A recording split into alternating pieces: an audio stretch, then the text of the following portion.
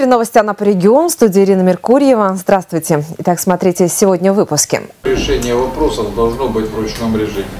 А у нас в квартире газ, а у вас? Ситуация с многомиллионными долгами за голубое топливо на личном контроле главы Анапы. Информация, естественно, является вымышленной, не несет в себе достоверных фактов. Без паники. Сообщения в соцсетях о похищении детей оказались фейком. Не сидеть дома, а пойти на любимые улицы нашего города, пройти. Жизнь после выхода на пенсию. В Анапе необычно отметили Международный день пожилых людей. Начнем с главного. В Анапу привезут сразу два вертолета Ми-8. Одну из машин установят в парке военной техники на Симферопольском шоссе, другую – в Витязево. На городском планерном совещании глава курорта Юрий Поляков поручил подготовить площадки под новые экспонаты. Также он потребовал системной работы над проблемными вопросами. Это касается незаконных строений и благоустройства, вплоть до составления специального графика их устранения. А началась рабочая неделя с награждений.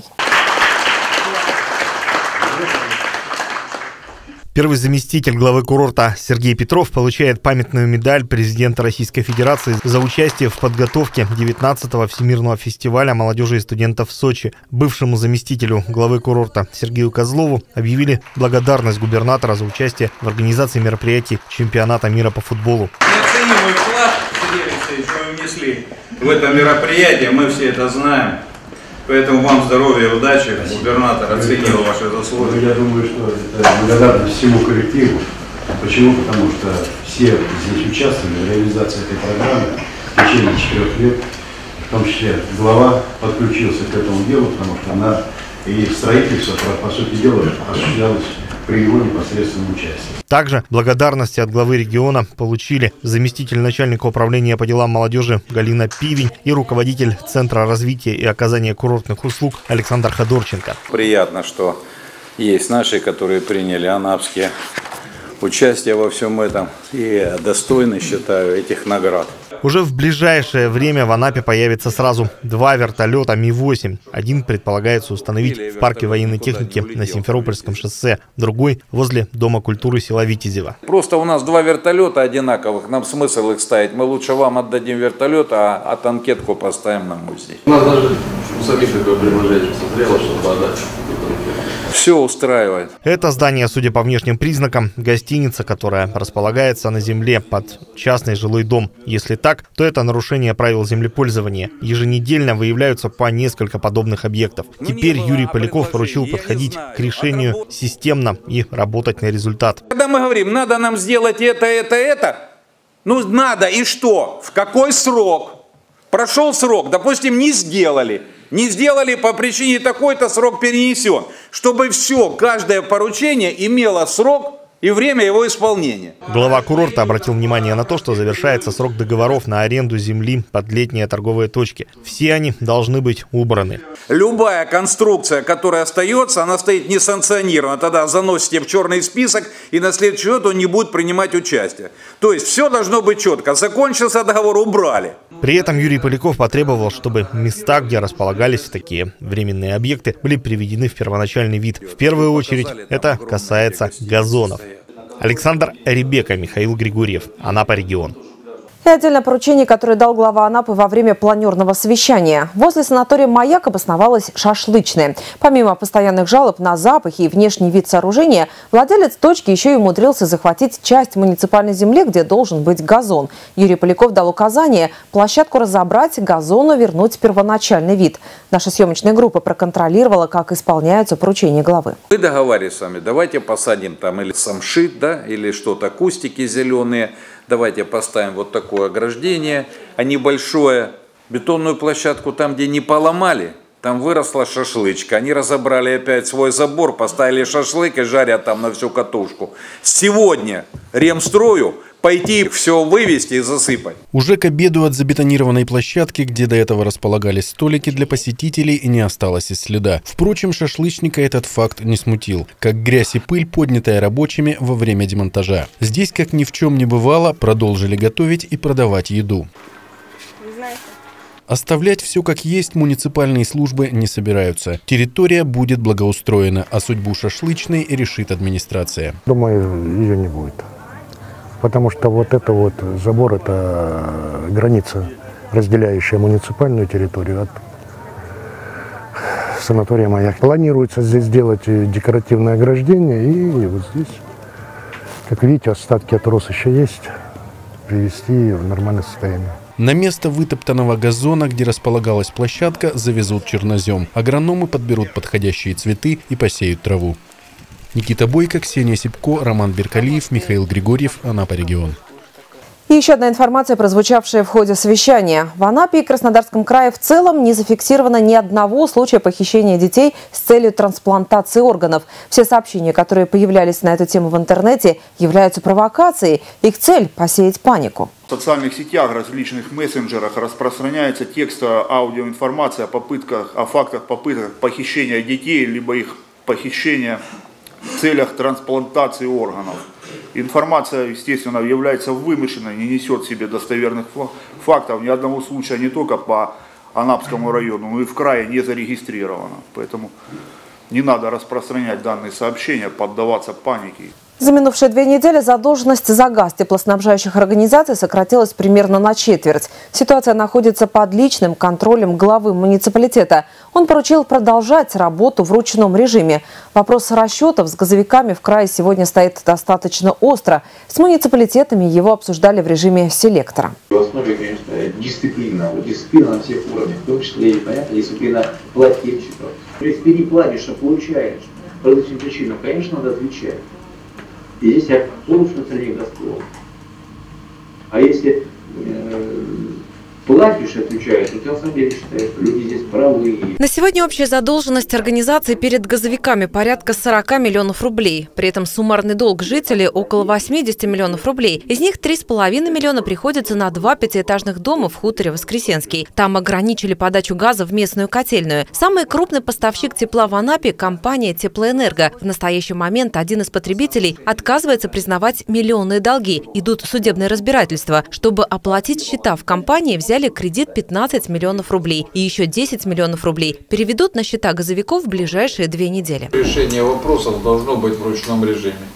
И на контроле одержать, и максимально я готов помогать теплоэнерго, потому э, нерадивому предпринимателю или директора компании, как его назвать, который не платит теплоэнерго. А если бы он рассчитался с теплоэнерго, наверное, бы сумма у нас была снижена. Ну, по крайней мере, я губернатору докладывал, он об этом знает. То есть нам все готовы помогать. К другим темам. Епископ Новороссийский Геленджикский феогност совершил чин великого освящения храма преподобного Серафима Саровского. Строительство комплекса завершено спустя 10 лет. Первое богослужение здесь провели в конце 2014 года. С тех пор прихожане говорят об особой атмосфере в приходе. Церковные награды и благодарности получают те, кто принимал активное участие в строительстве. Однако всех, кто так или иначе приложил руку, не перечислить. Храм строили в буквальном смысле всем миром. Сегодня, конечно, значимый праздник. Это освящение этого прекрасного храма. Храма необычного, действительно храма очень художественно оформленного и по своей архитектуре, и по росписи, и по внутреннему убранству необычен. То есть он такой вот стилизованный, такой в одном стиле выдержанный храм как украшение, а, украшение не только города, но всей Новороссийской епархии. На входе собирают использованные батарейки, чтобы сдать на утилизацию. Здесь берут на вооружение все, что может сделать мир немного лучше. Анапа развивается, строятся не только жилые комплексы, не только здравницы, отели, но и социальные объекты. Растут храмы, часовни. Это очень важно, возрождается духовность. От имени главы муниципального образования город-курорт Анапа Юрия Федоровича Полякова, от имени всех анапчан хочу поблагодарить владыку Феогноста за то постоянное внимание, которое он уделяет нашему городу, а также за его частые архипасторские визиты. Строительство здесь началось в 2005 году. Первое богослужение провели на Рождество 2014 -го. За три года пол изрядно поистерся. Это значит, что храм не пустует. Анна Кожухова, экономист, мать пятерых детей, прихожанка храма с первого дня. Это родной наш храм, родной приход. И знаете, такое ощущение, как будто ему не три года, а ему гораздо больше. На моленных местах, да, тоже чувствуешь себя так. Как, например, в Троице, Сергиевской лавре, я очень люблю туда приезжать, бывать там. У меня тоже есть такое же ощущение. Во дворе сам преподобный Серафим Саровский с книгой «На просьбы и доброе слово» здесь возлагают надежд больше, чем на строгие уставы. Фактически одна из приходских традиций, которые сложились за три года и которые настоятель намерен развивать. Для меня этот день ну, счастливый день в моей жизни, веха моей жизни, определенная веха. Э, даже если меня Господь завтра призовет, то я, я считаю, что я что-то сделал в этой жизни для Бога, для церкви, для людей. При этом отец Александр вспоминает одну из фраз, услышанную от другого священника еще в детстве. В храме обязательно должно быть что-то недоделано. Это скорее означает то, что предела для совершенствования нет. Александр Ребека, Михаил Григорьев, Анапа, регион. Сегодня мы отмечаем Международный день пожилых людей. Подарки для людей преклонного возраста приготовили учащиеся гимназии «Росток». Ежегодная акция «След доброты» проходит в этой школе вот уже 20 лет. Сотрудничая с Центром социальной защиты населения, гимназисты передают пенсионерам продукты питания, одежду, предметы первой необходимости и просто подарки, сделанные своими руками. На торжественной линейке подарочные наборы были переданы сотрудникам Центра социального обслуживания. У всех гимназистов есть любимые бабушки и дедушки. Как говорят сами школьники, они нуждаются в особой заботе и внимании. 350 учеников и 80 сотрудников школы. Все они приняли участие в ежегодной акции, посвященной Дню пожилого человека. Каждый день пожилого человека я всегда все-таки думаю о них, всегда дарю этот день именно им, потому что действительно важно заботиться о пожилом человеке, действительно важно важно уважать их, потому что все мы когда-нибудь будем такими же, и нам было бы безумно приятно также наблюдать наше поколение, которое будет уважать, именно помогать даже больше, потому что уважать это такое слово, о котором все знают, но которым никто не пользуется, а правильно именно действовать. Действием поздравления подкрепили все гимназисты. Вместе с родителями и учителями они собрали 55 подарочных наборов. В них входят одежда, продукты питания, предметы первой необходимости, а также приятные сюрпризы. Это не только продуктовые наборы, но это прежде всего частичка сердца каждого ребенка, потому что дети своими руками изготавливают открытки. А, открытки каждый год мы делаем разные.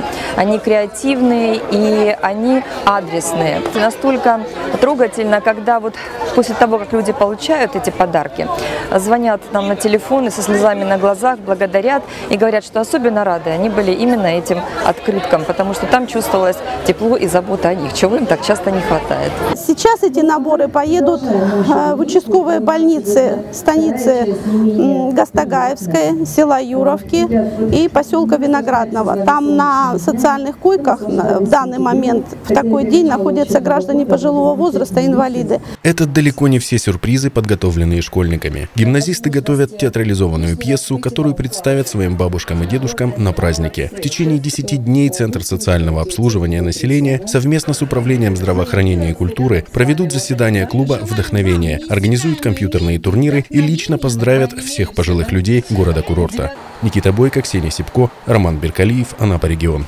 Жизнь после выхода на пенсию только начинается, так считают волонтеры серебряного возраста. Активный отдых, лучший досуг, полезный для здоровья, решили они и организовали сами себе праздник. Участники акции «10 тысяч шагов» прошли более 6 километров и посетили памятные места Анапы. Тамара Алексеевна возраст не скрывает. В свои 74 года она в качестве волонтера участвовала практически во всех значимых спортивных мероприятиях, которые проходили в России. Помимо этого, она активно занимается и общественной деятельностью. Я по жизни все время э, как бы продвигалась э, в общественной жизни. Комсомол, секретарь комсомольской организации. Мне не безразличен наш город. Мне интересно побывать на этих местах воинской славы. Почему? Потому что это наша история. Экскурсия по достопримечательностям Анапы – познавательное дополнение маршрута. 80 пенсионеров прошли более 6 километров, посетив стеллу города воинской славы, русские ворота, сквер Гудовича и другие памятные места. Эта идея родилась еще три года назад, когда мы захотели э, сломать этот стереотип пожилого человека. Потому что в нашей организации люди не только молодые душой, но еще и хорошей активной физической форме.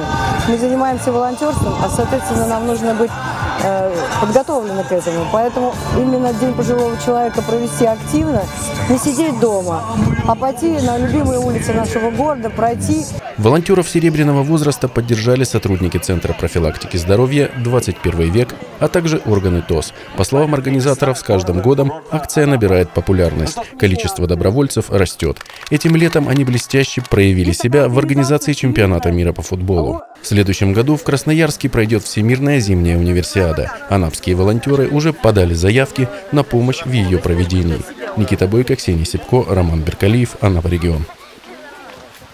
Далее информация о партнере программы. Тренажерный клуб «Витязь» предлагает привести в порядок фигуру по специальным сниженным ценам. Не упустите возможность. Все выпуски новостей вы всегда можете найти на нашем сайте anapregion.ru. Я с вами прощаюсь. До встречи. Тренажерный зал «Витязь». Все виды тренажеров. Отдельный кардиозал, женский зал, вертикальный солярий и инфракрасная сауна, школа бокса и, конечно, настоящая спортивная атмосфера. Абонемент для женщин всего от 800 рублей. «Витязь», Анапа, Самбурова, 254. Мы делаем спорт доступным. Непристегнутый человек при столкновении на скорости 80 км в час получает травмы, равносильные падению с восьмого этажа. Пристегнитесь, это может спасти вашу жизнь.